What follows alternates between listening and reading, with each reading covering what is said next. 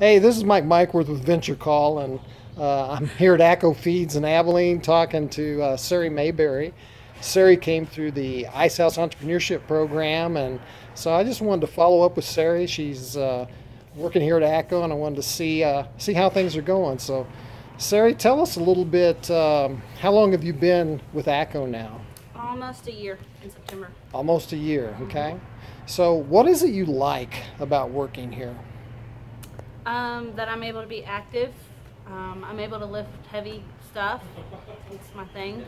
Um, I like the people. I love the customers and who I work with and stuff. Okay. Pretty amazing. What is uh, what would you say over this last year has been the, your greatest challenge? Ooh. My greatest challenge? It'd probably be um, loading customers that don't like me to load them because um, I'm a female. They'd rather have a Oh. male load them. So that would probably be my biggest challenge working for this company, working here. So how do you handle a situation like that? Um, I try to convince them that I can do it. Um, if I can't do that, then I have to ask one of the guys to help me. Okay, all right. Um, what would you say would be the greatest reward or blessing that you've received over the last year working here? Um, the money? No, I'm just kidding. Um, I like that um, I found a company and my owner, the owner of this company, is really good with my schedule because I'm a single mom with three kids. So when I need to take off, I can, and I have my job to come back to.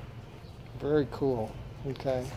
Um, tell me a few of the things that you've learned that you're going to be able to apply in uh, in your future. Um, I learned how to drive the forklift, so hopefully soon I'll have my forklift license. Um, I learned how I learned how to actually run a whole warehouse. So I've learned all the ins and outs. I'm still kind of learning, but um, if another like big job comes along, I'll have all that for my resume. Very good. Serry, we sure appreciate you taking a few minutes to talk to us, and uh, we wish you the best as you go ahead in your career. Thank you.